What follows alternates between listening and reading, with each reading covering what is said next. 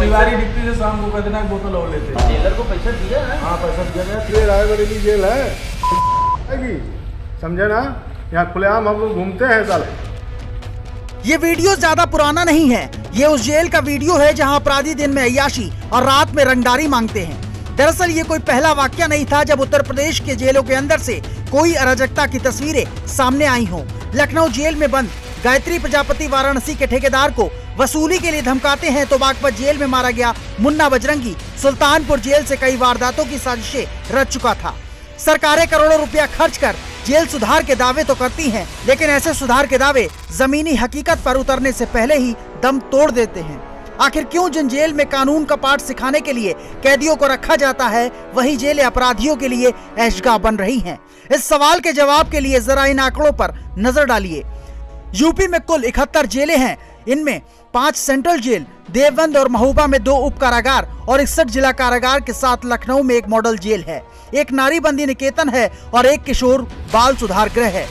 Jail में बंदी रखने की क्षमता, यानी उनसठ हज़ार आठ सौ है। जेल में बंद कैदी की संख्या एक लाख के आसपास है। यानी क्षमता से दो गुने कैदी यूपी की जेलों में बंद हैं।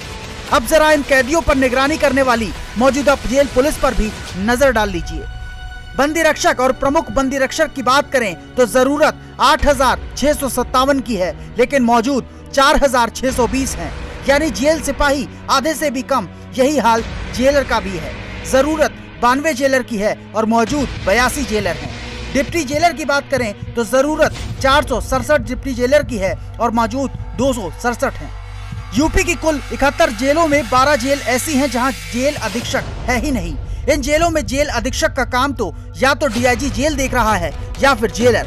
बिना जेल अधीक्षक वाली जेलों में यूपी की दो central jail, Agra central jail और बरेली सेंट्रल जेल शामिल है।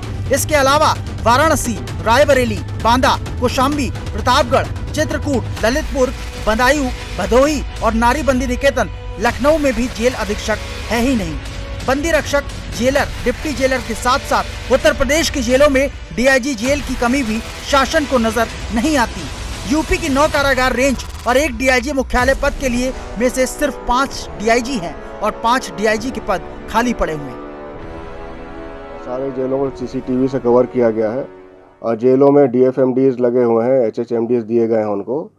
और एक दिक्कत हमारे साथ आती है कि जो जेलों में कर्मचारियों की जो कमी है मैं लेकिन इसका इस ये नहीं मैं कहना चाहता कि साहब इसकी वजह से ये सब होना चाहिए, लेकिन कर्मचारियों की भी कमी है, करीब 50 परसेंट वैकेंसी पे हम लोग काम कर रहे हैं। लेकिन उसके बावजूद अगर ऐसा हुआ है तो ये बहुत गंभीर कृत्य है और इसी के लिए इतनी सख्त कार्रवाई की गई जिससे इसके साथ ही जेलों में बलवा होने पर जिला पुलिस से मदद के लिए पुलिस चौकी है ही नहीं। 24 जिला कारागार ऐसे हैं जहाँ जिला पुलिस की चौकी है ही नहीं। यानी अगर इन जेलों में कोई बलवा हो, अराजकता फैली तो स्थानीय पुलिस से मदद मांगने का भी कोई सुचारू प्लान या व्यवस्था नहीं है। अब जेल के अंदर से मोबाइल के इस्तेमाल को रोकने के लिए लगे जैमर की करें तो यूपी की सिर्फ़ 24 जेलों में ही जैमर लग पाए हैं, जबकि सैतालीस जेलें बिना जैमर के हैं। रायबरेली जेल उन जैमर विहीन जेल में से है जहाँ जेल के अंदर से अपराधी धड़ल्ले से मोबाइल का इस्तेमाल करते हैं और रंगदारी वसूली करते हैं। मोबाइल जैमर के साथ बढ़ती सोशल मीडिया पर वॉइस कॉलिंग की तकनीक से भी मुश्किलें बढ़ी हैं। दरअसल यूपी के 24 जिलों में लगे जैमर वो 3G फ्रिक्वेंसी को तो रोक पाते हैं, लेकिन व्हाट्सएप और फेसबुक के ज़रिए होने वाले 4G कॉलिंग को नहीं रोक पाते। यानी सोशल मीडिया के दौर में अपराधी धड़ल्ले से व्हाट्सएप और फेसबुक कॉलिंग कर जेल के अंदर से रंगदारी वसूल करते हैं। तो ये आंकड़े काफ़ी हैं ये समझने के लिए कि आखिर यूपी की जेलें बदहाल क्यों हैं? एक तरफ़ निगरानी करने वाले सिपाही से लेकर अफसरों की कमी तो दूसरी तरफ़ तकनीक से पिछड़ापन यूपी की जेलों को बदहाल कर रहा है।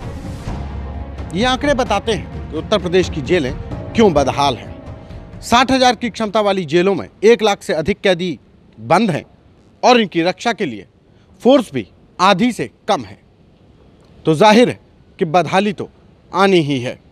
और इस बदहाली पर जिम्मेदार कोई और नहीं, खुद सरकारें हैं, जिनकी अनदेखी के चलते लंबे वक्त से जेलों में भर्तियाँ नहीं हुई। ईटीवी भारत के लिए लखनऊ से संतोष कुमार।